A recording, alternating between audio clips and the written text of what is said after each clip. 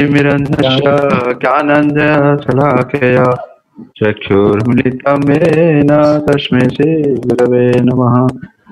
श्रीचैतन्यमनोभीष्टं स्थापितं येन भूतले। स्वयं रूपं कदा मह्यं ददां चितापदान्तितं वन्देऽहं श्रीगुरु पदकमलं श्रीगुरु वैष्णवां च श्रीरूपं चाग्रदातं सगना रघुनाथं तं तं च जीवम् आयुतं चावधूतं परिजनासहितं कृष्णचैतन्यदेवम् श्रीराधा कृष्णपदा सगना काशी विशाखाचिनं च नमो विष्णुपदाय कृष्णप्रसाय भूतले श्रीमते श्रीवेदान्त स्वामिति नामिने। नमस्ते सरस्वती देवे, गौरवाणि प्रचारिणे, निर्विशेष शून्यवादी, पाश्चात्यदेशतारिणे। नमो महावदन्याय कृष्णप्रेमप्रदायते कृष्णाय कृष्णचैतन्य नामिने गुरुषे नमः। हे कृष्णा करुणा सिन्धो, दीनबन्धो जगत्पते, गोपेश गोपिका कान्त राधाकान्त नमस्ते। सप्त काञ्चन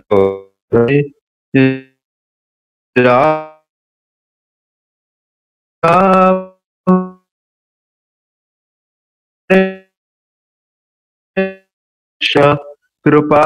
सिन्धु एव च। पतितानं पावनभ्यो वैष्णवेभ्यो नमो नमः। जय श्रीकृष्ण चैतन्य प्रभो नित्यानन्द।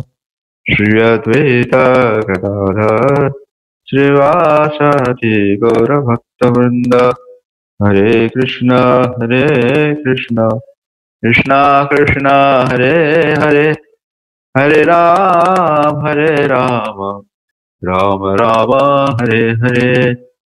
मुखं करोति वाचालं प्रङ्गं लङ्घयति गिरिं।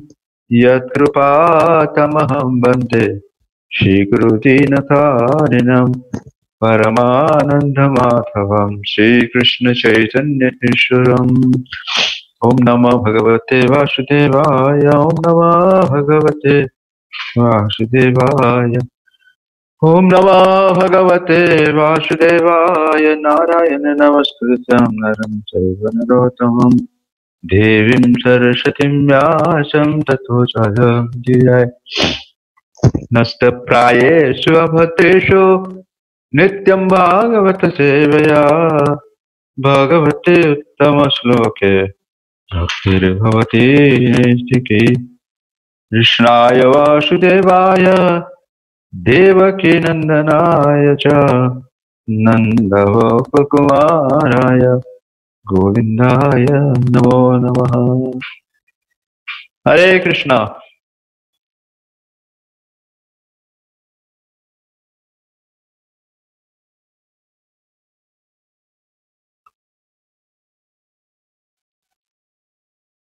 श्री श्री राधा वृंदावन चंद्र जगन्नाथ बलभद्र सुभद्रा महारानी श्री दर्शन निताय गौर सुंदर श्री वेंकटेश्वर बालाजी श्री प्रभुपाद। से आप सभी नेला वासियों का हार्दिक स्वागत है। इस रविवार का सायंकालीन संडे फीस्ट या प्रीति भोजन, है ना? तो अभी लॉकडाउन के कारण से तो भोजन नहीं हो पाएगा, लेकिन कान के द्वारा ज़रूर भोजन होगा हाँ? तो इसलिए आप सभी को मैं हार्दिक स्वागत करता हूँ। जैसे हम अभी कुछ ही देर के बाद बलराम पूर्णिमा, रक्षाबंधन जिस दिन भगवान बलराम जी की आविर्भाव दिवस मनाएँगे और उसके आठ दिन के बाद फिर हम बनाएँगे कृष्ण जन्माष्टमी। पुण्य पुरुषोत्तम भगवान श्री कृष्ण का जन्मोत्सव, फिर नंदोत्सव, इसके बाद फिर शिल प्रभुपाद जी के जन्मोत्सव हम्म, तो ये सिलसिला ऐसे शुरू होता है अभी अगस्त सितंबर अक्टूबर नवंबर क्योंकि चतुर्मास चल रहा है ना? श्रावण भाद्रव आश्विन और कार्तिक। ये चार महीना है है ना? हरे कृष्णा। तो आप लोग अभी चतुर्मास पालन कर रहे हैं? वर्षा के जो चार महीना है, चतुर्मास माना जाता है, ये हमारे वैष्णव परंपरा के लिए, पद्धति के लिए बहुत ही लाभदायक है। हाँ ये श्रावण महीना चल रहा है ना? तो श्रावण महीना में हम जो हरा सब्ज़ी, साग सब्ज़ी मतलब साग पत्ते वाला सब्ज़ी हम लोग भगवान को अर्पण नहीं करते। भगवान को तो अर्पण करते, हम लोग नहीं पाते। है ना? और ये चतुर्मास इस प्रकार से है, हम चतुर्मास में पहले जमाने में भी क्या करते थे, जो साधु संत करते थे, वो चार महीना क्या करते थे, क्योंकि खूब बारिश होता था, इसलिए अपने घर में आश्रम में रहते थे और खूब शास्त्र का अध्ययन करते थे, साधन भजन करते थे और आठ महीना फिर जाते थे। प्रचार करने के लिए भगवान कृष्ण है ना? गीता, भागवत, रामायण, महाभारत का प्रचार करने के लिए। है नहीं तो तो ये कृष्ण कथा के अंतर्गत तो हम ये शुरुआत करने जा रहे हैं। कृष्ण दशम स्कंद श्रीमद भागवतम की भगवान का प्राकट्य, the advent of lord Krishna introduction. ये पहला अध्याय है। आ, भारत में कृष्ण के बारे में हर कोई व्यक्ति जानता है। कई कई तो लोग कहा करते थे कि वो राम और कृष्ण जैसे मैं तो मेरे पॉकेट में है है ना?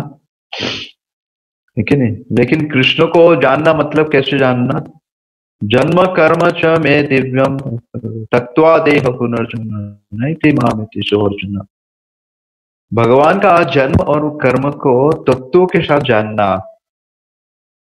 भगवान कैसे प्रकट हुए? भगवान क्यों लीला कर रहे हैं? भगवान असुरों को क्यों मार रहे हैं? है ना? उस मारने के पक्ष क्या कारण है? ना? तो इस विषय के बारे में हम बिल्कुल अज्ञान है। है ना? तो कुछ कुछ लीला के और कुछ कुछ लीला के जो है भगवान के जो कुछ लीला है, खास करके रसम स्कंद के जो पाँच अध्याय है जिसमें राष्ट्र पंच अध्याय जिसमें भगवान का राष्ट्र के बारे में वर्णन है। तो लोग उसके बारे में सुनने के लिए तो बहुत ही आकर्षित होते हैं। है ना? हर कथा में लोग वही सुनना चाहते हैं।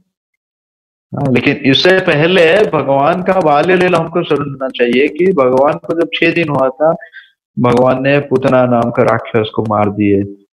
उतना ही नहीं जब भगवान का जन्म हुआ कंस के कारागार में मथुरा में तभी वसुदेव और देवकी और सारे प्रहरदर थे। भगवान का प्राकट्य हुआ और भगवान ने आदेश दिए। भगवान ने तो प्राकट्य हुए चतुर्भुज के रूप में, शंख, चक्र, गदा, पद्म और पीताम्बर वस्त्र में थे ऐसा कोई बालक जन्म होता है जो वस्त्र पहन के? साधारण तो बालक जन्म होता है, मनुष्य जन्म होता है तो वो रोता है, ना? अगर नहीं रोता है तो उसको माता पिता या डॉक्टर लोग एक्चुअली भाई लोग उसको मारते हैं। ना तो हम जब जन्म होते क्या करते हैं? रोते रोते जन्म होते और हम जब शरीर छोड़ के जाते हैं तो दूसरे को रुलाते हैं, है कि नहीं? लेकिन भगवान का जन्म इस प्रकार का नहीं होता है। भगवान ने जन्म हुए, आदेश दिए और वसुदेव देवी का जंजीर खोल गया दरवाज़ा खोल गया इतना घन बारिश हो रहा था सारे प्रदर्श सो गए यहाँ तक कि सारे जनता मथुरा के सारे जनता अपने सब लोग भगवान के योग माया के द्वारा सुला दिए गए योग माया महामाया जो भी समझ है ना तो भगवान को जानना मतलब जन्म कर्म च में विभिन्न तत्व नैति मानती अर्जुन भगवान का जन्म और कर्म को तत्वों के साथ में जानना चाहिए। तो इसलिए क्या करना चाहिए चाहता कि हमको परंपरागत जो शास्त्र दिया गया, आचार्य का जो टीका दिया गया, उसी को हम माध्यम से हम भगवान को जान सकते हैं। हमने तो कई कथा सुने पहले, है ना? लेकिन हम किसी के अंदर भगवान के प्रति भक्ति भावना जागृत हुई नहीं।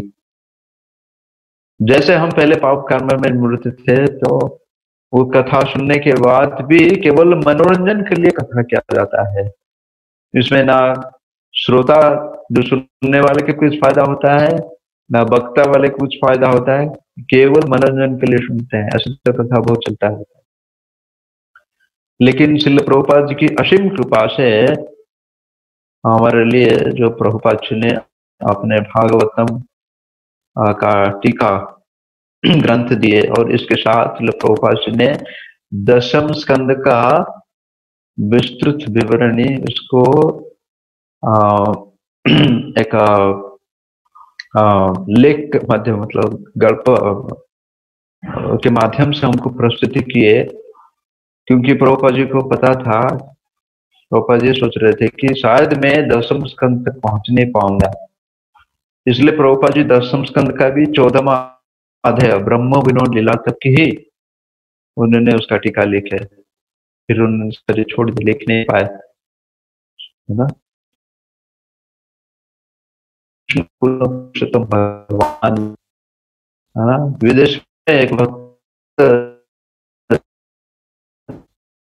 तो उसमें एक व्यक्ति बोले कि आप ग्रंथ लीजिए और तो व्यक्ति ने क्या क्या? अपने देखा। कृष्ण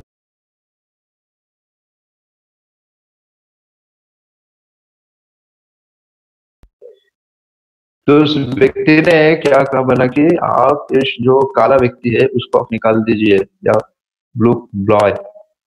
भगवान का रंग है ना? घनश्याम सांवला आप उसको निकाल दीजिए, उसकी जगह पे मेरा तस्वीर डालिए। तो इससे साफ़ साफ़ नज़र आता है है ना, कि हम संसार में भगवान बनने के लिए आइए। हम दो कारण से संसार में आइए, किसके लिए? भोक्ता बनने के लिए और नियंत्रण बनने के लिए, है ना? मतलब एंजर एंड कंट्रोलरशिप इस सभी के अंदर घुस घुस के भरा हुआ है। है कि नहीं? और इस जगत में आने के बाद भी हम वही कार्य करते हैं। हम चाहते हैं कि मैं भोक्ता बनूँगा और मैं नियंत्रक बनूँगा, दूसरे को नियंत्रण करूँगा, स्वामी बनूँगा पहले। है कि नहीं? लेकिन अकेला ईश्वर कृष्ण आर्य शव भृत्य तथा से कहते जय से करे नृत्य। चैतन्य चरितमृत में कृष्णा में लिखते हैं, केवल जो पुरुष है पुरुष कौन है? अकेला है, वो कृष्ण ही है। अकेला ईश्वर कृष्ण आर्य शव भृत्य अवसर कौन है? सब हम सेवक है। हम स्वामी नहीं बन सकते हैं। कोई अगर स्त्री जीन्स, पैंट और टी शर्ट पहनने से अपने आप को पुरुष नहीं मान था दिखाई पड़ता है पुरुष लेकिन स्वभाव नहीं बदलेगा। है ना? तो हम मैं आज केवल दशम स्कंद का एक श्लोक से लेके पांचवा श्लोक तक, जो ये वर्णन करेंगे, जिसमें बताया जाता है कि यहाँ पे परीक्षित महाराज सुखदेव गोस्वामी को प्रश्न पूछते हैं कि मुझे कृष्ण कथा क्यों सुनना चाहिए? हाँ हमको कृष्ण कथा क्यों सुनना चाहिए? कृष्ण कथा से क्या लाभ होता है? हाँ फिर आगे जाके हम चर्चा करेंगे जब प्रश्न मौका मिलेगा कि परीक्षित महाराज पूछते हैं सुखदेव गोस्वामी को आ, मुझे मैं क्या क्या सुनना चाहता हूँ? आगे से रखे। लेकिन खास करके इसका इंट्रोडक्शन बहुत ही महत्वपूर्ण है। और ये प्रभुपाद जी का जो उसमें तात्पर्य है, उसमें सबसे बहुत महत्वपूर्ण है। इसलिए दसम स्कंद में परिकित महाराज, जो अर्जुन के अर्जुन अर्जुन के पुत्र अभिमन्यु और अभिमन्यु को पुत्र हुए परीक्षित है ना? और परीक्षित को एक नाम है परीक्षित का नाम है विष्णु राठ क्योंकि उनको माता के गर्भ में भगवान विष्णु का दर्शन हुआ, केवल दर्शन नहीं हुआ, भगवान विष्णु के द्वारा वो सुरक्षित रहे। जिस समय अश्वत्थमा ने ब्रह्मास्त्र उनको प्रयोग किए थे, उनको हत्या करने के लिए, भगवान विष्णु सुदर्शन चक्र लेके उनके माता के घर में प्रवेश किए और उनको रक्षा किए। इसलिए उनका एक नाम पड़ा विष्णुराट। और इस प्रकार इसलिए ये संवाद जो चल रहा है श्रीमद भागवतम में परीक्षित महाराज और सुखदेव गोस्वामी के बीच में। और सुखदेव गोस्वामी कौन है? व्यासदेव के पुत्र सुखदेव गोस्वामी, जो सुख मतलब तोता, वो राधा रानी का तोता है।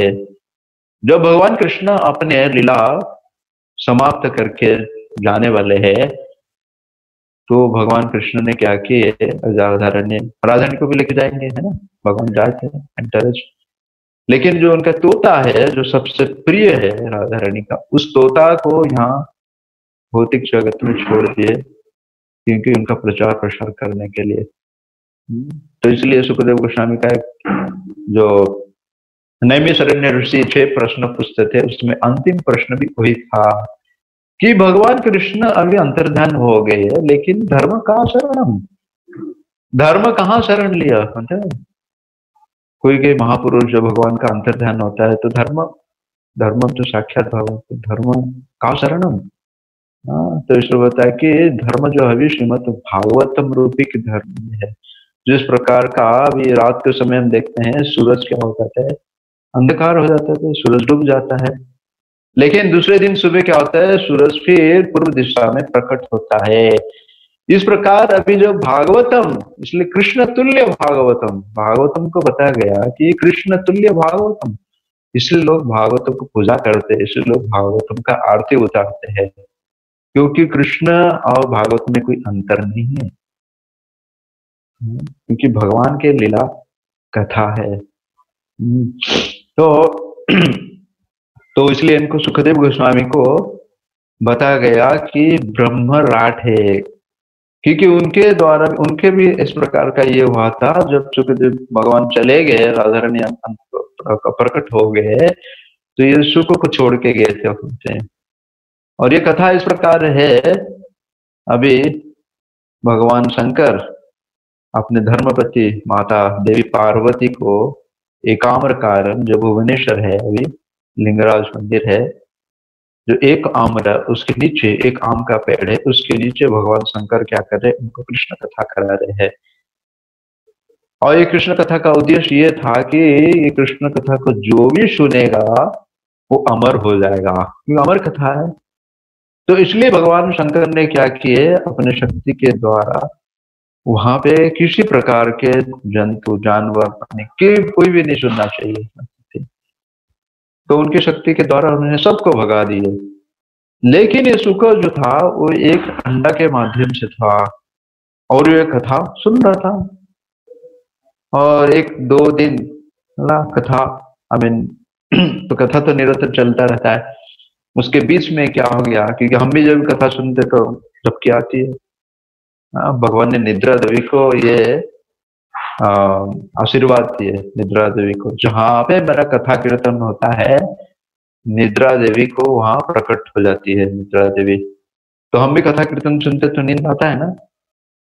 हमारा स्कंद में, अमेरिका में, एक शहर में एक एक वक्ता कथा कर रहे थे। मतलब श्रीमद भागवतम क्लास दे रहे थे आठ बजे। पंद्रह मिनट तक वो सो गए। है ना? तो इससे पता चलता है कि श्रोता को वक्ता कभी नहीं सोता है, श्रोता सो जाते हैं, वक्ता का आज तक वक्ता कभी नहीं सोता है। लेकिन कभी कभी वक्ता सो जाते हैं, अगर वक्ता बहुत ही एकदम शरीर उसका बिल्कुल क्लांत हो जाता होगा तो भक्त इतने सेवा किए होंगे दिन भर इतने सेवा किए होंगे तो इसके लिए उनको नींद आ गया पंद्रह मिनट तक। हरे कृष्ण तो कुछ नया नहीं है। तो ये कथा जब चल रहा था तो उन्होंने अभी माता पार्वती जब सो जब सो गए निद्रा, और स्वयं माया देवी है दिखे माया देवी माया देवी को सुला दिए तो हमारा क्या हाल होगा?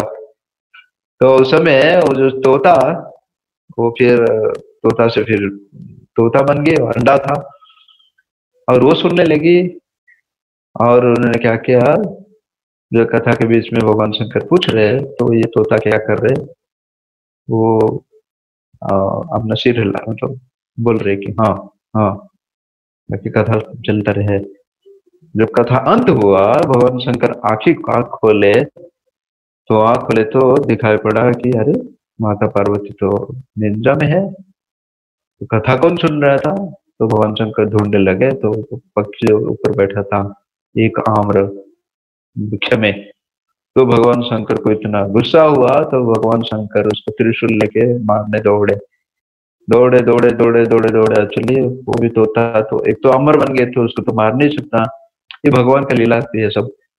तो जिस समय फिर वो चले गए, जाके व्यास देव का पत्नी, जिसका नाम था जवाली, उसके मुँह के अंदर चले गए।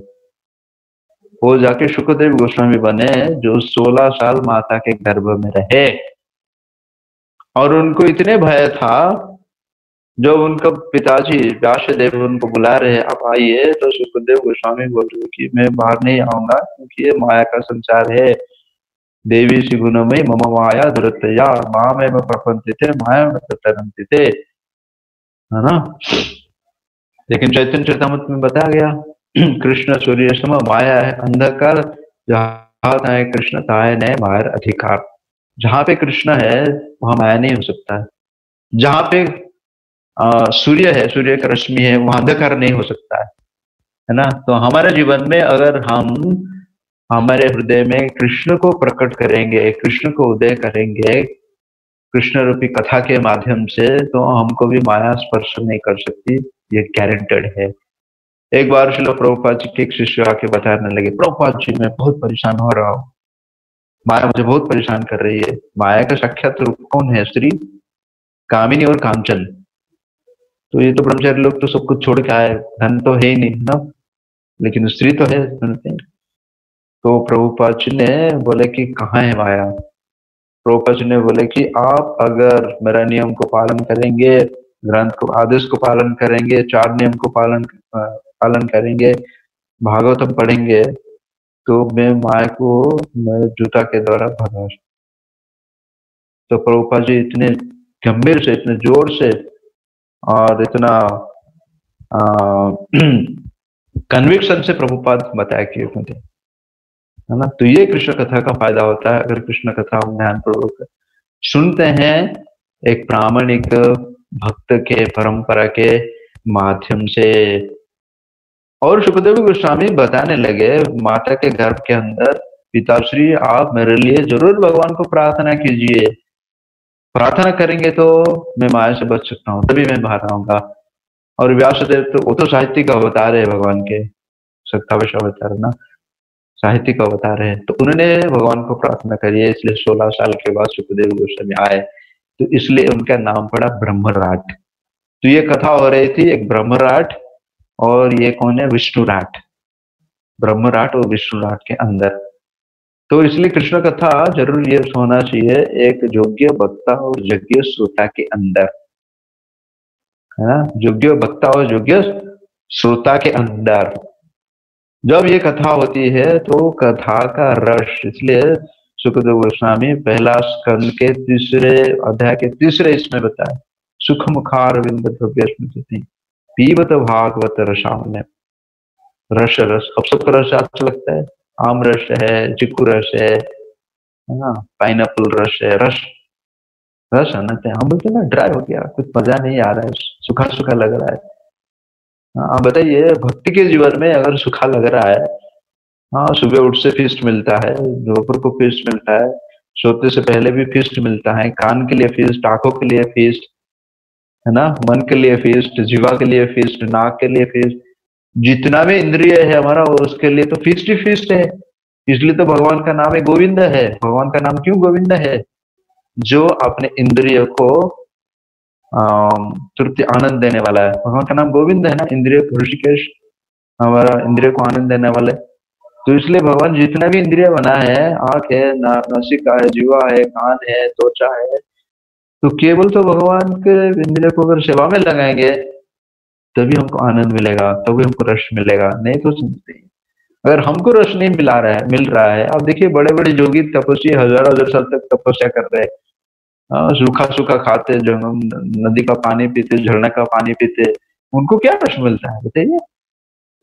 हाँ, हमको अगर रस नहीं मिल रहा है तो हम संसार में रह के भी हमको रसपान मिलता है क्योंकि हम कृष्ण कथा कर रहे हैं। कृष्ण का प्रसाद खा रहे, कृष्ण का नाम का उच्चारण कर रहे, कृष्ण का भक्त का दर्शन कर रहे, है ना? कृष्ण का सेवा कर रहे, भक्त का सेवा कर रहे। वो लोग तो सूखा एकदम ड्राई है देखिए इसलिए तो हज़ार हज़ार हज़ार साल तपस्या करने के बाद भी माया के द्वारा प्रभावित हो जाते हैं, विश्वामित्र ऋषि प्रभावित हो गए। सोबरी ऋषि जो नदी के, यमुना के नदी के पानी के अंदर तपस्या कर रहे थे माया के, माया से बचने के लिए। हाँ। तो केवल तपस्या करने से, अपने इंद्रियों को तकलीफ़ देने से तो हम ये जो माया जगत से बच नहीं सकते हैं। इससे बचने का एक ही कारण है, ये हमारा इंद्रिय को भगवान के सेवा में लगाना चाहिए। अथ श्री कृष्ण नाम आदि न क्राइम इंद्रिय। सेवान मुख्य ही जीवा दो हरे कृष्णा हरे कृष्णा। कृष्णा कृष्णा, हरे हरे। हरे राम हरे राम राम राम, हरे हरे। हाँ ये इतना सरल उपाय दिए भगवान के। हम्म, चलिए अभी हम थोड़ा श्लोक के ऊपर चर्चा करेंगे। दसम स्कंद का पहला अध्याय का पहला श्लोक जिसमें यहाँ पे देखिए परीक्षित महाराज हाँ वो बचपन से तो भगवान का भक्त ही है। है कि नहीं? तो तो सारे कृष्ण का कथा सुने होंगे सारे लीला के बारे में सुने होंगे है कि नहीं? कृष्ण का दर्शन भी किए उन्होंने है ना? और इसमें तो ये भी दसम स्कंद का कथा हो रहा है, इससे अभी परीक्षित महाराज सात दिन मतलब तीन दिन बिना खाए, बिना पिए, बिना सोए, निरंतर कृष्ण का कथा सुन रहे हैं। तो इसलिए श्रोता के अंदर अगर इतना उत्साह रहेगा, इतना तो वक्ता के अंदर भी उतना उत्साह रहेगा। तो यहाँ परीक्षित महाराज बैठे सुन रहे हैं, जिस परीक्षित महाराज थोड़ा आपने भूख और प्यास को नियंत्रण नहीं कर पाया कि मरा हुआ सर्प को डाल दिए सिंगी समीक ऋषि के गले में, जो तपस्या कर रहे थे जंगल में, है ना? अपने कुटीर में जाके। केवल पानी, एक बूंद पानी के लिए वो निकली वही परीक्षित महाराज वहाँ से भागते भागते आए और जब उनको पता चला कि मुझे श्रृंगी उसके बेटे श्रृंगी के द्वारा मुझे श्राप मिला है, सात दिन के अंत में तक्षक जो साप है, उसके द्वारा मेरा मृत्यु निश्चित है। उन्होंने कुछ प्रयास नहीं किया। हाँ तो प्रोपज बोलते थे, उनको तो सात दिन का समय मिला। है कि नहीं? तो परिगित महाराज जी सोचने लगे, उनको ठीक है, जिस भगवान ने मेरे को ये किए थे, माता के घर में मेरे को बचाए थे, जो असंभव था, अद्भुत कर्मणा, उनके माता के जो ब्रह्मास्त्र के कारण उनके जो गर्भ था बिल्कुल नष्ट हो गया था, जल गया था। भगवान उनको पुनर्स्थापित किए। ऐसा कोई मनुष्य कर सकता है, ऐसा कोई योगी है कर सकता है, ऐसा कोई ज्ञानी है कर सकता है? केवल भगवान कर सकते हैं, इसलिए सुखदेव गोस्वामी उनको संबोधित करते हैं, ये अद्भुत कर्मणा है, ये ऐसा कार्य कर सकता है, इसको कोई नकल नहीं कर सकता है। तो बिल्कुल तो नष्ट हो गया था। तो भगवान अगर चाहते थे तो अभी मेरे को ठीक है, भगवान के द्वारा इस श्राप आया, अभी मेरा मृत्यु निश्चित है। है ना? लेकिन सात दिन क्यों? सात दिन रहने की क्या ज़रूरत है? हाँ? कोई कंपनी का काम ये करने का कि बेटे के शादी कराने थे कहा क्या? कोई मस्त, अलग खुद नहीं? वो तो सारे जिस समय उनको पता चला, उसी समय उन्हें क्या छोड़ दिए? अपने गृह छोड़ दिए, पत्नी छोड़ दिए, बच्चे छोड़ दिए जाया सूता, गारा, पशु, द्रव्य, सब कुछ छोड़ दिए। और चले गए। क्या एक लंगोटी के साथ और कुछ नहीं था। नहीं, सिर्फ़ लंगोटी नहीं था। सब कुछ छोड़ के चलिए उस गंगा के किनारे में जाके आवरण अनशन बिना खाए, बिना पे वहाँ बैठ गए। उनके मन में केवल एक ही प्रश्न था। जिस व्यक्ति का मृत्यु निकट है, उस व्यक्ति का क्या करना चाहिए? और दो प्रश्न था। एक पहला प्रश्न था, दूसरा प्रश्न था साधारण मनुष्य मतलब मनुष्य का कर्तव्य क्या होना चाहिए? इन जनरल मनुष्य का कर्तव्य क्या होना चाहिए? और जिस व्यक्ति का मृत्यु म्रियमाण जिस मनुष्य का मृत्यु, मनुष्य का मृत्यु निकट है, उसको क्या करना चाहिए? केवल वही दो प्रश्न लेके वो बैठ गए। हज़ार, लाखों, करोड़, सारे मुनि ऋषि आ गए पूरा प्रचार हो गया संसार में, क्योंकि चक्रवर्ती सम्राट थे, पूरे विश्व का सम्राट थे। ये केवल भारत का इंडिया का राज, राजा नहीं थे प्रधानमंत्री नहीं थे प्रेसिडेंट नहीं थे पूरा विश्व का राज थे। सारे मुनि ऋषि आ गए वहाँ पे कोई व्हाट्सएप मैसेज नहीं था कोई ईमेल नहीं था कुछ नहीं था। सारे लोग आ आगे की परिचित महाराज हमारा रंजन करे गंगा के किनारे बैठ गए। प्रश्न क्या था ये था। और बोलने लगे अलग अलग कुछ कुछ बोलने लगे कोई बोलता ध्यान करो तपस्या करो ध्यान करो ये करो प्राणायाम करो या करो। किसी से संतुष्ट नहीं थे बैठे थे। और वहाँ आके सुखदेव गोस्वामी आके पहुँचे देखिए। वो भी कैसे पहुँचे आप चलिए। बिल्कुल नग्न वस्त्र है ही नहीं हाँ, तो ये ये योग्यता चाहिए भगवान कृष्ण का कथा सुनने के लिए। ये योग्यता से भगवान कृष्ण का कथा सुनने के लिए। है ना? तो इसलिए कहा जाता है कि जब कई कृष्ण कथा का मौका मिलता है हमको सब काम धंधा छोड़ के एक्चुअली बैठ जाना चाहिए। आजकल तो इतने सुविधा हो गया वैज्ञानिकों के द्वारा, हम काम करते करते भी सुन सकते हैं। इंटरनेट है फेसबुक है ट्विटर है ना यूट्यूब है, जो भी है, इतना सुविधा हो गया। फिर भी हम इसका सुविधा नहीं ले पा रहे, कितना दुर्भाग्य की बात है, क्योंकि मन हमारा हमेशा क्या है, अशांत है, कलयुग में, प्राण मंद सुमंद मत भाग्य, उपद्रता। है ना? और कृष्ण कथा सुनने को मिल रहा है, फिर भी हम क्या कहते हैं, भ्रमित हो जाते हैं। क्या सही है कि नहीं है? प्रभुपाद जी जो बता रहे, सही है कि नहीं? भागवतम जो लिखा है, वो सही है कि नहीं? कृष्ण है कि नहीं है? इतने प्रकार का डाउट आता है, इतने प्रकार का सं संशय आता है। भ्रमित होता है। बता गया कलिजुग का लक्षण है? वही सुखदेव गोस्वामी, पहला अध्याय के पहला तो स्कंद का दसम इसमें बताया गया कलिजुग का लोगों का लक्षण क्या होगा? तो ये कलिजुग का लक्षण, लोगों का लक्षण है, उसमें ध्यान पूर्वक सुनना मतलब कितना कठिन है मतलब कितना कठिन है लेकिन वही एक्चुअली क्या है, वही एक ही उपाय है, वही एक ही औषधि है, कृष्ण कथा। हरे कृष्ण हरे कृष्ण कृष्ण कृष्ण, हरे हरे हरे राम हरे राम राम राम, हरे हरे। तो ही परीक्षित महाराज बैठे सुखदेव गोस्वामी आए और कथा शुरू किए जिससे एक पहला स्कंद से लेके नवमा स्कंद जिसमें कृष्ण के बारे में केवल गिने चुने बताया ज़्यादा चर्चा नहीं हुए पहला स्कंद में थोड़ा चर्चा हुआ है, तीसरा स्कंद में थोड़ा चर्चा हुआ है, फिर नवम स्कंद में कृष्ण का वंशावली का चर्चा हुआ है। यदुवंश में आया ना तो उनका वंशावली का चर्चा हुआ है। हाँ? तो परीक्षित महाराज को भी प्रश्न शॉर्टकट में थोड़ा सा बता रहे हैं। हाँ क्योंकि परिचित महाराज को लगा कि अभी सुखदेव गोस्वामी सोच रहे होंगे कि तीन दिन बीत गया, अभी मैं खाया नहीं, पिया नहीं, सोया नहीं, थोड़ा सा ब्रेक लेता हूँ, थोड़ा जलपान करके आता हूँ, थोड़ा स्नैक्स करके आता हूँ, थोड़ा शरबत पी के आता हूँ, थोड़ा घूम के आता हूँ, है ना? लेकिन सुखदेव परीक्षित महाराज बोलते कि आप निश्चित रहिए, मैं एक गलती ज़रूर किया था, मैं अपने भूख को नियंत्रण नहीं कर पाया, प्यास को नियंत्रण नहीं कर पाया। मैं इतना बड़ा गलती किया, लेकिन आगे मैं गलती करने वाला नहीं हूँ।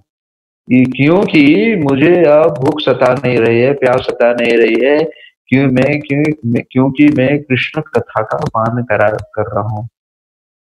मैं कृष्ण कथा का पान कर रहा हूँ। कैसे कृष्ण कथा का पान कर रहा है?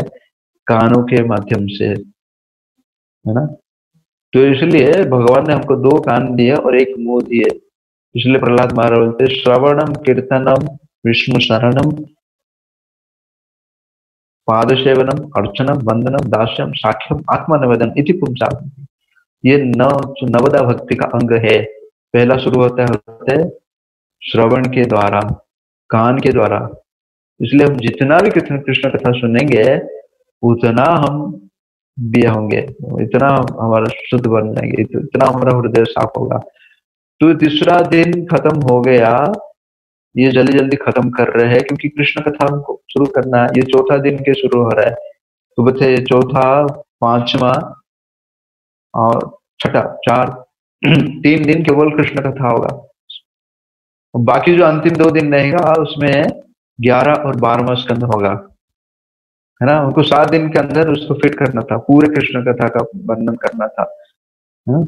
तो इसलिए वहाँ पे सुखदेव परीक्षित महाराज बोल रहे हैं, कथितो वंश विसारो भवता सोम सूर्य नाम चरितम परम अद्भुतम।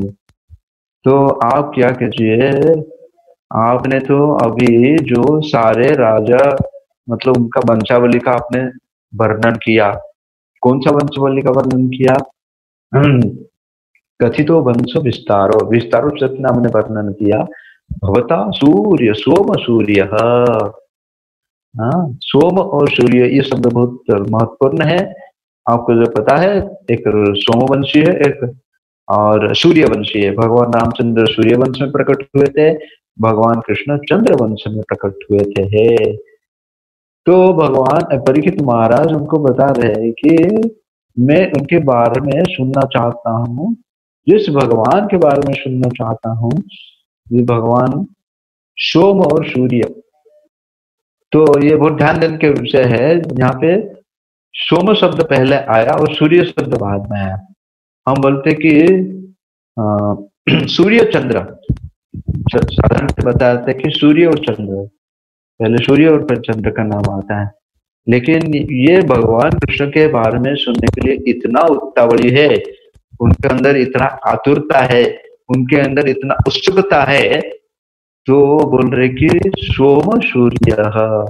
ठीक है, आपने बताया सूर्यवंशी भगवान रामचंद्र के बारे में बताया, रघुवंशी। लेकिन मैं अभी विस्तृत रूप से कृष्ण के बारे में सुनना चाहता हूँ, जो ये सोम सूर्य होते ना? वो चरित पद चरित परम अद्भुतम। उनके चरित्र के बारे में मैं सुनना चाहता हूँ, क्योंकि उनका चरित्र क्या है? परम अद्भुत है। हाँ तो तीन दिन कथा सुनने के बाद तो यहाँ पता कि परम अद्भुत मतलब एक दृष्टि से उनको क्या कर रहे उनको धन्यवाद दे रहे जैसे हम कभी भी कथा शुरू होता है तो हमको दो प्रश्न आता है, कथा कब शुरू होगा और कथाकार कौन है? है ना? कथाकार अगर अच्छा है है ना? मनोरंजन है तो हम, हमारा अंदर क्या आता है? उत्सुकता आता है। हाँ सुनूँगा, बैठूँगा, कब सुनूँगा? है ना? और सुनने के बाद, कुछ समय के बाद बोरिंग हो जाता है, फिर बताता है कि कब कब कथा खत्म होगा। हाँ इसलिए इस में ये है, जो सब में वासुदेवा शुरू करते तो नींद आता है। और अंतिम में जो घंटरा श्रीमद भागवतम की जय, नींद खुलता है। क्योंकि उसके बाद शुरू होगा क्या? हाँ? कौन सा? हरे कृष्ण, कौन सा मंत्र पाठ करते हैं? महाप्रसाद ए गोविंद। हाँ? तुरंत, क्योंकि प्रसाद भी, प्रसाद सर्व दुख वो भी भक्ति का एक अंग है प्रसाद। हाँ उसको भी मिस नहीं करना चाहिए किसी कृष्ण कलयुग में तो है, क्योंकि बताया गया, ये अर्णमय कोश है। कौन सा? अर्णमय कोश अर्णमय कोश मनमय कोश ज्ञानमय कोश मने सॉरी अन्नमय, प्राणमय, ज्ञानमय और बाद में आ गया विज्ञानमय, इसके बाद आनंदमय कोश अभी हम आनंद को ढूंढ रहे हैं, लेकिन इसके बीच में इतना सारा ये है। पहले शुरू कहाँ से होता है? अर्णमय कोश इसलिए प्रभुपाद बोलते हैं कि ज़्यादा ज्ञानी बनने की कोशिश मत करो। प्रसाद खा के नहीं तो क्या कृष्ण को अचिंत्य है? उनका लीला अचिंत्य है, उनका ये बिल्कुल कुछ समझ नहीं आएगा। हाँ कृष्ण के बारे में तो ऐसे ही है, चलिए। राम को तो कुछ लोग मानते हैं, ठीक है हाँ क्योंकि वो मर्यादा पुरुष है। ये तो प्रेम पुरुषोत्तम भगवान है सॉरी, लीला पुरुषोत्तम भगवान के बारे में। इनके बारे में क्या समझेंगे आप?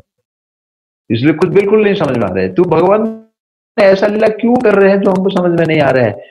भगवान ने ऐसा लीला इसलिए कर रहे हैं ताकि, है ना? एक तो हम समझ नहीं पाएँगे, क्योंकि समझने के लिए हमको योग्यता चाहिए। इसको समझने के लिए क्या चाहिए हमको? योग्यता चाहिए। योग्यता मतलब हमको गीता भागवत ग्रंथ एक्चुअली पढ़ना चाहिए। अगर नहीं पढ़ पाते तो कोई बोलता है कि मैं मूर्ख नहीं पढ़ पा रहा हूँ। सुनना चाहिए योग्य व्यक्ति से। हाँ? कभी कभी टीचर जो है, विद्यार्थी के लिए कठिन प्रश्न पूछता है। है ना? तो क्या शिक्षक जो चाहता है विद्यार्थी को फेल करने के लिए? नहीं। शिक्षक का ये इच्छा है कि विद्यार्थी पढ़े, अच्छे से ढंग से पढ़े। है ना? ताकि उसके अच्छे प्रमोशन होगा तो उसका पढ़ाई के लिए, उसके अच्छे के लिए नहीं है तो भगवान कृष्ण ने ऐसा लीला रचा है जो हमको नहीं हमारा समझ से परे होता है, किसके लिए? इसलिए कि हम सही ढंग से उनके ग्रंथ को पढ़े, शास्त्रों को अध्ययन करें। तो यही एकमात्र ये, इसलिए हम उसको समझ नहीं पाते, है ना? तो इसलिए परीक्षित महाराज ये बोलते थे कि मुझे इस जो परंपरा में कौन सी परंपरा है? सोम सूर्य। ये चंद्रवंशी परंपरा में जो राजा हुए उनके बारे में मैं सुनना चाहता हूँ। तो दो तरफ़ से एक है बोलते कि आपने जो अभी ये वंश का विचार कर रहे उसको बंद कीजिए। हम्म, तो उनको धन्यवाद दे रहे कि बंद कीजिए। जैसे हमको कभी कथा बोर लगता है है ना? तो हम चिट देते या समय हो गया, अभी कथा बंद कीजिए, भूख लग रहा है, जाना है हमको। है ना? मतलब इनडायरेक्टली की कथा बंद कीजिए, बोर लग रहा है नहीं। तो यहाँ पे परिकित महाराज बोले कि ये जो आप राज्य का, राजा के बारे में वंशावली वर्णन कर रहे हैं, नवम स्कंद में, अभी उसको बंद कीजिए, मुझे इस राजा के बारे में बताइए। ये चंद्रवंशी में जो भगवान कृष्ण प्रकट हुए, इनके चरित्र अद्भुत है, मैं इनके बारे में सुनने के लिए उत्सुक हूँ। आप उसलिए इसलिए मुझे बनाइए, बताइए एक्चुअली है ना? तो ये कृष्णा कथा, इसलिए अद्भुत चरित्र में उनके बारे में सुनना चाहता हूँ। फिर आगे जाके दूसरा श्लोक में बताते हैं कि हाँ यदुश्च धर्मशील नितरा मुनि सप्तम तत्रांश जानती विष्णुर्बिरयानी समस हाँ फिर बताते हैं कि क्योंकि ये यदुवंशी आपने पता है? यदुवंशी चंद्रवंशी भी है और चंद्रमा में कलंक है पता है ना? जो बोलते हैं चंद्रमा में दाग है। चंद्रमा में दाग होने के नाते भी, भी चंद्रमा का जो किरण है इतना ये कुमल है सुशोभित है है ना? तो इसलिए उसके दाग होने के नाते भी, भी वो क्या है? अद्भुत मतलब उनके उनके दाग को कोई देखा नहीं जाता है। तो इस प्रकार ये चंद्रवंशी में क्योंकि भगवान कृष्ण प्रकट हुए ये अद्भुत व्यक्ति है, उनका चरित्र अद्भुत है, इसलिए उनके वंश में जो राजा हुए यति महाराज के बारे में बताते हैं। यति महाराज के पाँच पुत्र हुए उनका पहले बड़ा बेटा का नाम था यदु। ये से यदुवंश होता है। और यति महाराज को श्राप मिला, शुक्राचार्य के द्वारा श्राप मिला, क्या श्राप मिला कि आप बूढ़े हो जाओगे? हाँ आप बूढ़े हो जाओगे। वो अलग ये हमें नहीं करते हैं, उतना इनको श्राप मिला कि आप बूढ़े हो जाओगे। उनकी बेटी शुक्राचार्य की बेटी देवजानी के साथ उनका विवाह हुआ था। क्योंकि देवजानी आके कंप्लेन किया, शिकायत की कि मैं जिस नौकरन को लेके गए थी, राजा का बेटा बेटी शर्मिष्ठा ऋष्य पर्व का उनके संगम में, उनके उनके संपर्क से, उनसे ये तीन पुत्र संतान उत्पन्न हुआ। कोई नहीं चाहेगा ना कि द्वेष है ना? है ना? तो इसलिए शिकायत की तो शुक्राचार्य ने क्या क्या उनको बिना सोचे नाश करते कि तुमको श्राप दे दिया तुम बूढ़े हो जाओगे। तुम यदु बोल रहे कि मैं तो बूढ़ा हो जाऊँगा, लेकिन तुम्हारा बेटी का क्या हुआ? हाँ? तो इसलिए तुरंत उनको फिर शुक्राचार्य ने बोले कि जो भी विनती की है, शुक्राचार्य बोले, ठीक है। आप फिर से जवान बन सकते हो। कोई आपको अगर कोई व्यक्ति आपने जवान देगा, तभी आपने फिर से जवान हो सकते हो। तो सर की कौन आप बताइए? कोई आपने जवान देने के लिए प्रस्तुत होगा? कोई बूढ़ा व्यक्ति अपने बुढ़ापा लेके जवान को दे रहे हैं, कोई प्रस्तुत होगा? इसलिए आपने पहला बेटा को मैंने पूछे, जिनका नाम था यदु। बोले, मैं नहीं दूँगा। क्यों नहीं दूँगा? पिता का बात ना मानना तो अपराध है। पिता का आज्ञा पालन नहीं करना अपराध है ना? हा? लेकिन यहाँ पे यदु राजा जो थे, अपने पिताजी का आज्ञा पालन नहीं किए।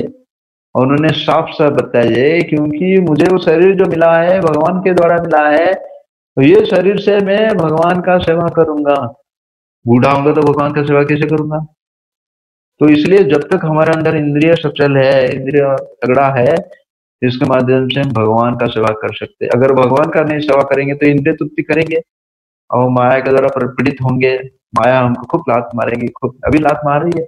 हमारे लिए कोई उपाय नहीं है दो उपाय है। एक तो भगवान को सेवा करना है नहीं तो माया का सेवा करना है। कोई दूसरा उपाय नहीं है। हाँ इसलिए प्रभुपाद बोलते माया का सेवा अगर करेंगे जीवन भर लात मरेगा और, उसके बाद क्या कहोगा फिर दूसरा जो जीवन मिलेगा अगले जीवन में दुख होगा। लेकिन कृष्ण का अगर सेवा करेंगे तो हम ये जन्म मृत्यु बुढ़ापा बीमारी से मुक्त हो जाएँगे। हाँ? तो क्या कौन सी किसका सेवा करना चाहिए हमको? कृष्ण का सेवा करना चाहिए कि माया का सेवा करना चाहिए? पूरे संसार तो माया का सेवा कर रही है। हाँ, जो बुद्धिमान व्यक्ति है इसलिए बताया था कि यजंती सुमेधशाह जो केवल बुद्धिमान व्यक्ति है वो सुमेधशाह मेधा मतलब बुद्धि, सुमेधा मतलब विशेष रूपण बुद्धि। जो विशेष रूपण बुद्धिमान व्यक्ति है, वो माया का सेवा कभी नहीं करेगा। किसका सेवा करेगा वो? वो कृष्ण का सेवा करेगा, क्योंकि कृष्ण वरम आता है। कृष्ण माता, कृष्ण पिता, कृष्ण धन, प्राण, कृष्ण संसार करी छाड़ी अनाचार। तो इसलिए हम सब बुद्धिमान है, इसलिए कृष्ण भक्ति को अपना रहे हैं और कृष्ण का सेवा करना चाह रहे आप लोग बुद्धिमान है ना? हरे कृष्णा। बुद्धिमान है कि नहीं? हाँ। इसलिए नरोत्तम दास ठाकुर अपने भजन में गाते, मानुष जन्म पाया राधा कृष्ण ना भजिया, जानिया सुनिया विश्व खाए बंगाली में जल खावे। हम बोलते, पीवे। बोलते, खावे, क्योंकि विश्व खाई नु। विष खावे तो जल खावे। हाँ तो मनुष्य जन्म मिला, भगवान को भूल गया, माया का सेवा किया, है ना? राधा कृष्ण बोलिया मनुष्य जन्म पाया, विष खाई नो। जान बुझ के विष पान करना जैसे है। जान बुझ के विष करना तो विष पान करेंगे तो जिएँगे हम? हाँ मृत्यु तो निश्चित है, विष पान करते हैं। तो इसलिए हम जितना कृष्ण कथा करेंगे, हम हमेशा के लिए जीवित रहेंगे, हमेशा के लिए अमर रहेंगे। हम मरना नहीं चाहते, कोई मरना चाहते, अगर मरना चाहते तो फिर बीमारी होता तो डॉक्टर को जाके पास क्यों फिर जाते थोड़ा ठीक कर दो, ठीक ठीक कर दो। ज़रूर हम शरीर को ठीक करना चाहिए। किसके लिए? शरीरम खलु साधनम। ये शरीर दिया गया, भगवान के द्वारा दिया गया। कोई माता पिता हमको शरीर दिए? नहीं। माता पिता केवल माध्यम बने, प्रकृति माध्यम बने। माता पिता अगर शरीर देने का अगर कोई क्षमता होता था तो माता पिता तो चाहते थे। मेरा केवल पुत्र हुए। हम्म? और वो भी पुत्र क्या? बहुत बुद्धिमान बने, बहुत सुंदर बने। होता है, कोई है हमारे पास? नहीं। कोई माता पिता का कोई माता पिता केवल माध्यम बनते हैं। हाँ इसलिए उनका आदर करना चाहिए और भक्ति करना चाहिए, उनको भी भक्ति सिखाना चाहिए। हम्म? इसलिए पुत्र का कर्तव्य होता है माता पिता को पू नामक नारक से उद्धार करना। तो इसलिए बताया गया कि अगर पिता का आदेश जो पालन नहीं करता है, जो पुत्र, वो मूत्र है। इसलिए प्रपात बोलते हैं, पुत्र और मूत्र एक ही स्थान से निकलता है। अगर हम अच्छे पुत्र नहीं बनते, अच्छे संतान नहीं बनते, है ना, अच्छे पुत्री नहीं बनते हैं तो क्या होता है वो? हम मूत्र बनते हैं, जो किस काम का नहीं है। तो हम मूत्र बनना चाहेंगे कि पुत्र बनना चाहिए, क्या पुत्री बनना चाहेंगे जो बुद्धिमान व्यक्ति है, वो पुत्र या पुत्री बनना चाहेगा है ना? खुद को उद्धार करेगा और माता पिता को भी ज़रूर उद्धार करेगा। तो कृष्ण भक्ति करने से खुद का भी उद्धार होता है और माता पिता का भी उद्धार हो जाता है।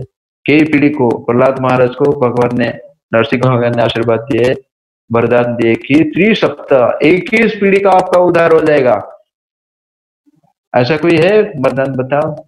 हम, हमारा उद्धार नहीं कर सकते, दूसरों का माता पिता का क्या उद्धार करेंगे? हम बोलते कि माता पिता को उद्धार करना चाहिए, उनका सेवा करना चाहिए, बुढ़ापे को नहीं करेगा। एक तो हम करते नहीं है माता पिता की सेवा नहीं कर रहे और उद्धार करने के बाद तो बहुत दूर की बात है। लेकिन भगवान का भक्ति हम करते हैं तो इक्कीस पीढ़ी हमारा उद्धार हो जाएगा। कितने बड़े वरदान है, देखिए। तो इसलिए अभी उनके बड़े पुत्र, यदु महाराज ने यति के बड़े पुत्र, वो पिताजी का आज्ञा पालन नहीं किए। फिर भी उनको क्या माना गया कि धर्मशील है? वो पितृ का आज्ञा क्यों नहीं पालन किए? क्यों इसलिए पालन नहीं किए क्योंकि अच्छे तरह से उनको पता था कि जो जवानी जो है, जो इंद्रिय है, वो भगवान का सेवा में लगना मैं बुढ़ा हो जाऊँगा तो भगवान का सेवा कैसे करूँगा? इसलिए भगवान का सेवा करने के लिए अपने अपने माता पिता का आज्ञा नहीं पालन किया। तो इसलिए हम माता पिता का आज्ञा ज़रूर पालन कर सकते हैं जब अगर माता पिता हमको भगवान का सेवा करने के लिए प्रेरणा दे रहे है ना? नहीं तो नहीं।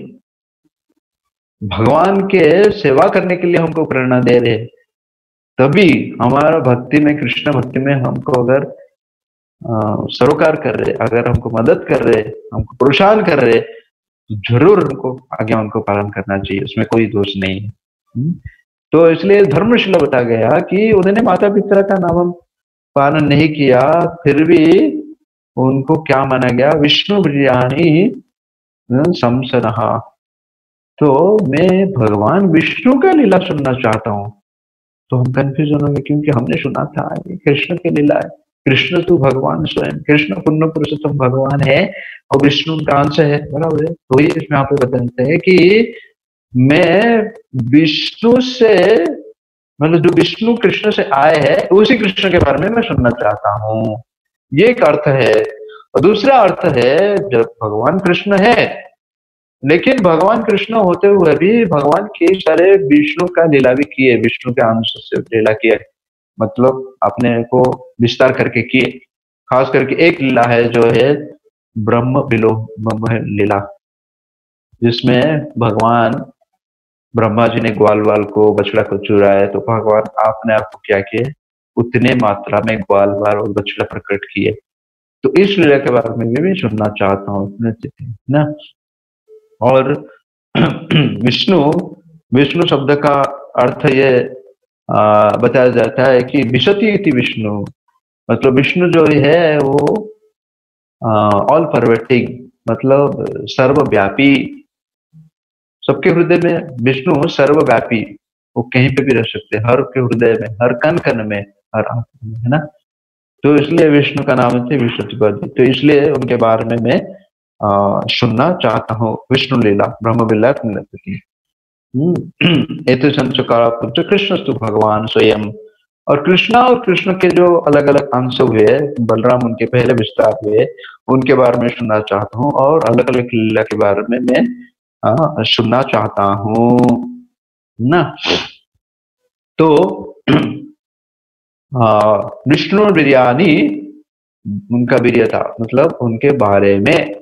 शमसन ओके और फिर अभी तीसरा जो श्लोक आता है, इसमें बताते कि, अवतरीय यदुर्वंशे भगवान भूत भावना कृतवान यानी विश्वात्मा, तानी तो बद विस्तरात हम्म? पहले तो परिकित महाराज अभी आपने वंशावली के बारे में सुन रहे थे तो उसको बंद करके बोले, उसको बंद करो, मैं कृष्ण के बारे में आप सुनाओ, क्योंकि अभी समय नहीं है, समय खत्म हो रहा है।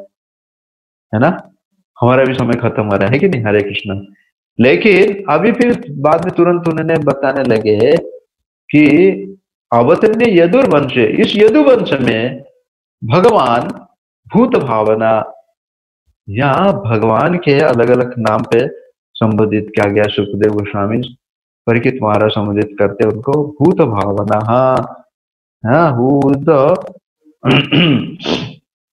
हाँ कॉज ऑफ़ ऑल कॉजेस भूत भावना। हाँ, भगवान का एक नाम बताया गया कि भूत भावना मतलब who the cause of this creation मतलब ये ब्रह्मांड के नायक मतलब ब्रह्मांड को बनाने वाले भगवान कृष्ण भगवान विष्णु है ना? इसलिए उनको समझ दिखा कि भगवान भूत भावना। हाँ इसलिए हमारे जो संस्था का नाम क्या है प्रभुपाद ने रखे अंतरराष्ट्रीय कृष्ण भावनामृत संघ। अंतरराष्ट्रीय कृष्ण भावनामृत संघ इसलिए कृष्ण चेतना। कौन सी चेतना में? कृष्ण चेतना को प्रकट करना चाहिए। एक है माया का चेतना होता है दूसरा होता है कृष्ण का चेतना। अगर हम कृष्ण का चेतना माया का चेतना में तो हम कृष्ण चेतना नहीं बन सकते। हाँ, इसलिए भगवान भूत भावना हम्म और बताया कि विश्व आत्मा विश्व आत्मा मतलब भगवान परमात्मा के रूप में सबके हृदय में प्रकटित है। भगवान परमात्मा के रूप में सबके हृदय में है कि नहीं? है तो इसलिए विश्वात्मा है ना? तो तानी बद विस्तरात और विस्तृत रूप से मैं ये जो भगवान है, जिनका नाम है भूता भावना, जिनका नाम है विश्वात्मा, उनके बारे में मैं सुनना चाह रहा हूँ। तो इसलिए पहले जितने भगवान के अलग अलग जो अवतार आए थे भगवान कृष्ण से पहले, उनको बताया जाता है, ये जितना भी ईशानु कथा ईश्वर मतलब ईश्वर नियंत्रक, ईशानु कथा बरा रूप में आए थे, नरसिंह रूप में आए थे वामन रूप में आए थे। उन्होंने कई सारे असुरों को मारा, क्योंकि भगवान जब आते तो असुरों को सहारा करना थी। है ना? भगवान भगवत गीता में बताया ना, यदा धर्मश्च ग्लानिर्भवती परित्राण साधुना विनाश है तो दुष्कृतम धर्म संस्थापिना संभवामी युगे युगे। लेकिन भगवान जब ये पहले अलग अलग अवतार में आए थे, उनने असुर को मारे, लेकिन उनको मुक्ति प्रदान नहीं किए। लेकिन जब कृष्ण स्वयं आते हैं, इसलिए आश्रय तत्व है। भगवान श्री कृष्ण जो स्वयं आते हैं वो आश्रय तत्व है। पूर्ण पुरुषोत्तम भगवान। ये अवतार नहीं अवतारी जब लेके आते हैं, वो जब असुर को मारते हैं, असुर को क्या करते हैं? मुक्ति देते हैं। शिशुपाल को मारे दंत को मारे, कंस को मारे, इतने सारे अग, बग, खग, ना, गा इस सबको मारे। मार के उन्होंने क्या किया? उन उनको उनको उद्धार किए। है ना? मुक्ति जो उनको प्रदान किए सायुज्य मुक्ति उनको प्रदान किए, है ना? तो इसलिए उनके बारे में मैं सुनना चाहता हूँ। तो इसलिए हम समझ सकते हैं कि परीक्षित महाराज के अंदर कृष्ण कथा सुनने के लिए उनका अंदर कितना उत्साह है। तो ये कृष्ण कथा सुनने के लिए एक केवल एक ही उसका मूल्य है हाँ? रूप गोस्वामी पाद बोलते कि लोल्यम एक मूल्यम। हमारे अंदर लालसा होना चाहिए, लोल्य होना चाहिए ग्रीडी होना चाहिए। क्या करने के लिए? कृष्ण कथा सुनने के लिए। और ये कृष्ण कथा सुनने के लिए चाहे हमको कितना भी मूल्य देना पड़े, वो देने के लिए तैयार होना चाहिए। कृष्ण कथा देने के लिए हमारे अंदर इच्छा होना चाहिए। क्या होना चाहिए? केवल इच्छा होना चाहिए। सेवा करने के लिए इच्छा होना चाहिए। केवल डिज़ायर होना चाहिए। बाकी सब कृष्ण के द्वारा, भक्त के द्वारा अरेंज हो सकता है। लेकिन अगर इच्छा ही नहीं तो क्या कर सकते हम? भगवान का कथा सुनने के लिए इच्छा नहीं है, नाम जप करने के लिए इच्छा नहीं है, सेवा करने के लिए इच्छा नहीं है, मंदिर जाने के लिए सेवा नहीं है इच्छा नहीं है तो केवल इच्छा करना चाहिए। इच्छा जो है हमारा स्वतंत्रता है, और इच्छा को, इस इच्छा से भगवान कभी उसका अंदर दाखिल नहीं करते। हैं तो इसलिए लोग प्रश्न पूछते हैं, ठीक है, भगवान अगर हमारा माता पिता है, वो हमारे सृष्टि करता है, हमको बनाने वाले हैं तो तो भगवान क्यों हमको भक्त नहीं बनाते? भगवान क्यों हमको भगवत धाम में बुलाने देते भगवान पहले हमको क्यों आने दिए? ये दुख है ना करुणा का तरह सब लोग पीड़ित है ना। पूरे संसार, विश्व लोग देखिए, एक छोटा सा, एक वैज्ञानिक बता रहे थे कि अभी जितने लोग एक कोरोना वायरस के द्वारा पीड़ित है, उस सारे को कोरोना वायरस को अगर वज़न किया जाए, वो दस ग्राम भी नहीं होगा। कितना? दस ग्राम भी नहीं होगा। है ना? लेकिन सारे लोग को कितना चिंतित है, कितना पीड़ित है, क्या किया जाए, क्या किया जाए, क्या करेंगे, क्या करें? हाँ देखिए, माया का एक शक्ति, एक छोटा सा शक्ति माया का इतने प्रचंड है है ना? अब माया का बड़े बड़े शक्ति आएगा तो क्या करेगा? एकदम बिल्कुल फ्लाट कर देगा। हिल नहीं सकते वहाँ पे तो माया अगर इतने शक्तिशाली है तो कृष्णा कितने शक्तिशाली होंगे? हमारा, कृष्णा के ऊपर हमारा विश्वास नहीं है। इसे विश्वास मिले, हरि तर्क बहुत रहे हम तर्क करते हैं। और जो ज़्यादा जो पढ़ा लिखा होता है ना, वो बहुत तर्क करता है। ऐसा क्यों है, ऐसा क्यों नहीं है, इधर क्यों है, इधर क्यों नहीं है, ये क्यों है, वो क्यों नहीं है? खूब तर्क वितर्क करते हैं। इसलिए प्रोपा जी कहानी बताते हैं कि जंग एक शहर का व्यक्ति गाँव में गया था। और उन्होंने देखा कि गाँव में किसान क्या कर रहा है, पेड़ के नीचे, छाव के नीचे बैठा है और अपना कुछ काम कर रहा है और दूर से जो खेती है उस खेती में बैल काम कर रहा है। तो किसान आके व्यक्ति शहर का व्यक्ति आके पूछा तो किसान को, अरे, तुम इधर बैठे हो, बैल उधर कर रहे, वो काम कर रहे क्या? बोला हाँ काम कर रहे, आपको कैसे पता चला काम कर रहे? उसने बोला कि, इस बैल में मैंने क्या किया, घंटी बाँध के रखा है। तो घंटी का आवाज़ सुन रहा है तो मेरे को लगता है काम कर रहा है। तो बुद्धिमान व्यक्ति ने बोला कि, मान लो कि बैल आकर एक जगह पे खड़े हो होकर अपने अगर मुंडी हिलाएगा हाँ तो आपको कैसे पता चलेगा काम कर रहा है? वो किसान ने बोला बोला कि वो गाँव का बैल है, वो शहर का बैल नहीं है है ना? तो इसलिए जो गाँव का बैल है, वो लोग बहुत ही सरल होता है, निष्पाप होता है, बुद्धिमान होता है, भला पढ़े लिखे नहीं है है ना? लेकिन वो श्रद्धा है उनको भगवान के बारे में सुनने के लिए। लेकिन थोड़ा हम पढ़े लिखे बन जाते हैं तो तो हम भगवान बन जाते हैं या भगवान को चैलेंज करते हैं। है कि नहीं? तो इसलिए हमको जितना सरल रहेंगे जितना निष्पाप रहेंगे वो नम्रता रहेंगे तो भगवान के कथा सुन सकते हैं ना? और तो आ, ये भगवान के कथा तो यहाँ पे इसलिए सुखदेव गोस्वामी बताते हैं कि मैं इसलिए ये कृष्ण के बारे में सुनना चाहता हूँ। और फिर चौथा जो श्लोक है बहुत ही महत्वपूर्ण है इस श्लोक में उच्चारण करना चाहता हूँ। निवृत्ति तरसे उपगीयमानय। भव औषधि श्रुतुम मनो विराता गौतम श्लोको गुणानुवादा। उमान विराजेत बिना पशुना। सुखदेव गोस्वामी परीक्षित महाराज बोल रहे हैं कि अरे कृष्ण कथा कौन सुनना नहीं चाहेगा? ऐसा कौन व्यक्ति है कृष्ण कथा सुनना नहीं चाहेगा? कृष्ण के बारे में सुनना नहीं चाहेगा जो पुण्य पुरुषोत्तम भगवान है जो अत्यंत दयालु है परम दयालु है परम करुणा है हम्म, कौन नहीं सुनना चाहेगा? कौन सुनना चाहेगा? क्यों सुनना चाहेगा? बताते हैं कि निवृत्ति तरफ़ से उपज्ञान है ये कृष्ण का कथा कौन कर सकता है? जो व्यक्ति निवृत्ति तृष्णा दूसरा मतलब भौतिक इच्छा भौतिक डिज़ायर से जो मुक्त है हा? जो व्यक्ति भौतिक इच्छा से मुक्त है, वही व्यक्ति एक्चुअली कृष्ण का कथा कथा कर सकता है और कथा सुन सकता है। ऐसे व्यक्ति के मुखारबिंद से हमको क्या करना चाहिए? कृष्ण का कथा सुनना चाहिए। इसलिए निवृत्ति तो है ना? और ऐसा क्यों कथा सुनना चाहिए? इसलिए उपज्ञा माना बता गया। उपज्ञा मतलब डिस्क्राइब और सॉन्ग उपगीय भगवान के बारे में ऐसा भगवान में क्यों सुनना चाहिए? ये भव औषधि this is the right medicine for the material disease और ये औषधि भव औषधि। कितना प्रकार का औषधि है? अभी कोरोना का औषधि अभी तक नहीं निकला। है ना? तो औषध चाहिए ना बताइए हर एक बीमारी के लिए औषधि है। ये भव रोग जो है कृष्ण को भूलने का जो रोग है हमको भी लग गया। इस रोग से या इंद्रिय स्तुति का रोग। भोग करने का जो रोग है, इसी रोग का निराकरण क्या है केवल कृष्ण का कथा, ये भव औषधि। और कोई औषधि उसके लिए नहीं है।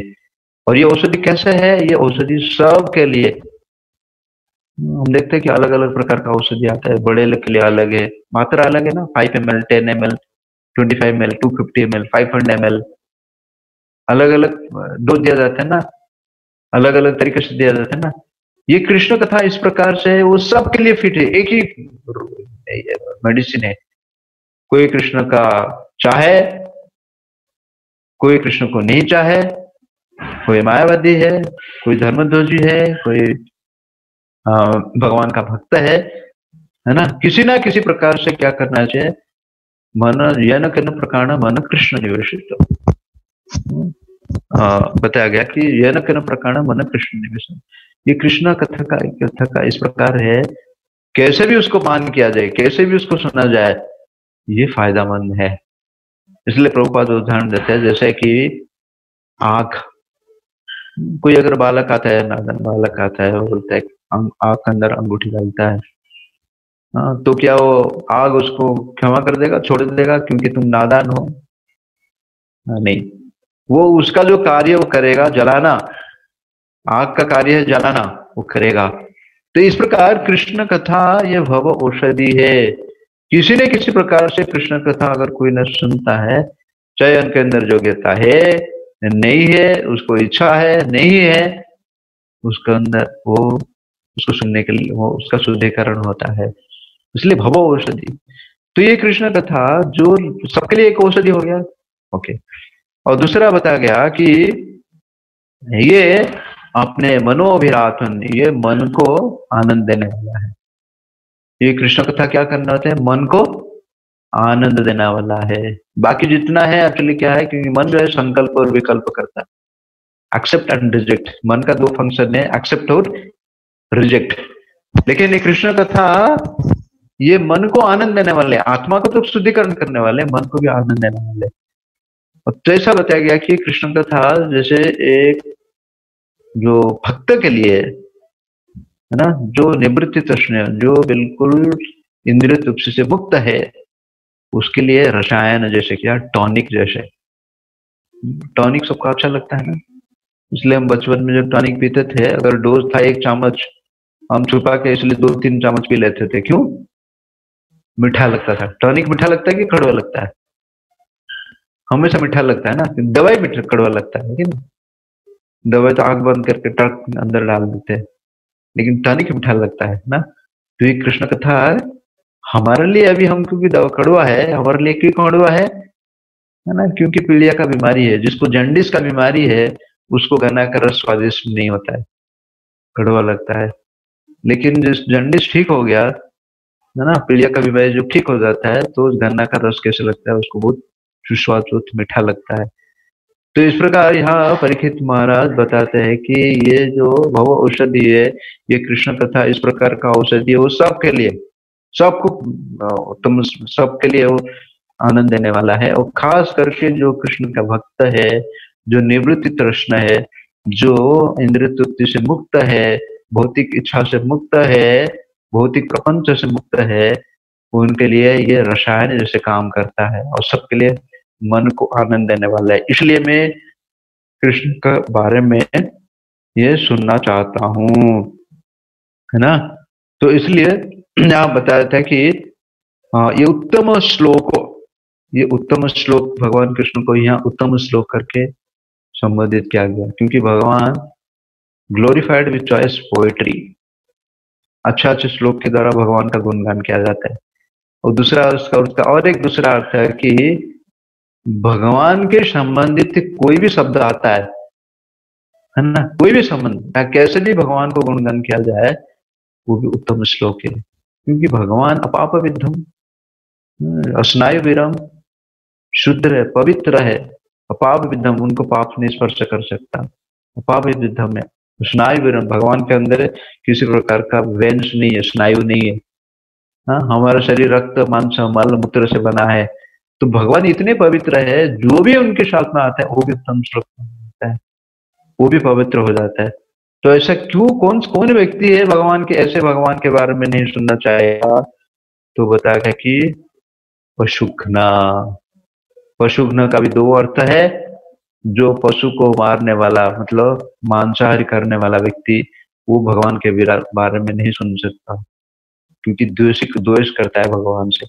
और दूसरा बताया गया कि हम बोलेंगे कि ठीक है। लेकिन ऐसे तो बहुत सारे जो लोग हैं पशु का हत्या नहीं करते मांसाहार नहीं करते फिर भी क्यों भगवान को नहीं समझ पाते? वो आत्मा है आत्मा। आत्मा को हनन करने वाले वो भी पशु ना है। क्योंकि हम पशु बोलते हैं ना तो आपने आपको पशु माना। भागवतम में बताया कि पशु है। हाँ, क्योंकि आहार निद्रा भय मैथुनम समन्वय नाम धर्म ही अधिक विशेष धर्म नहीं न पशु भी समान जो धर्म का नियम पालन नहीं करता है केवल आर निद्रा भय मैथुन अपने जीवन बिताता है। हाँ, धर्म तेषम अधिक विशेष धर्म नहीं ना पशु भी समान हम पशु है बस।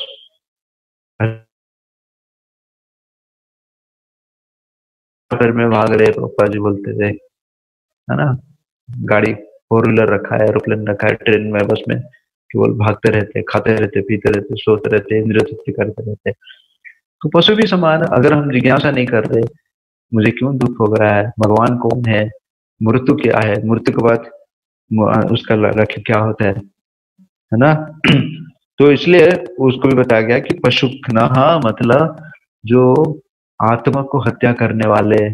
अगर हम आत्मा के बारे में नहीं जानना चाहते हैं, आत्मा को रक्षा करना नहीं चाहते हैं तो हम भी क्या बताते हैं कि नहीं इसलिए बताया कि त्रिवर्ग। धर्म, अर्थ और काम। त्रिवर्ग, धर्म, अर्थ और काम। धर्म करता हूँ किसके लिए? अर्थ कमाने के लिए। अर्थ कमा लो किस करने के लिए? काम की तृप्ति करने के लिए। तो ये बताया गया कि त्रि त्रिवर्ग, धर्म, अर्थ के आत्मति उनके लिए कोई इंटरेस्ट नहीं है भगवान के बारे में जानने के लिए। तो उसको भी क्या माना गया कि पशुघ्न माना गया। हम्म उनको माना गया क्या? पशुघ्न माना गया। जो कृष्ण का कथा इतना मधुर है, कृष्ण का कथा इतना लाभदायक है, कृष्ण का कथा इतना पवित्र है, कृष्ण का कथा इतना शुद्धिकरण कर सकता है तो कृष्ण का सेवा क्या नहीं कर सकता है, बताइए। हाँ इसलिए नाम रूप, गुण और लीला, पहले तो कृष्ण कथा से शुरू होता है, और सुनने के बाद, प्रभुपाद जी जब सैन्य फिर से शुरू किए थे, अमेरिका में, रविवार को, कम से कम मिनिमम बारह आइटम बना रहे थे दो प्रकार का राइस, है ना? तीन चार प्रकार का सब्ज़ी, दो प्रकार का पकोड़ा, चटनी, सलाद, दो प्रकार का स्वीट हाँ? पूरी। और ये लोग आते थे, बस खा के जाते थे। हाँ? कैसे तो कल केवल इंतज़ार करते थे, कब संडे फ़िश खत्म होगा, मैं खा के जाऊँगा। ऐसे कई दिन तक खाने जाने के बाद एक भक्त को थोड़ा सा ये हुआ कि स्वाद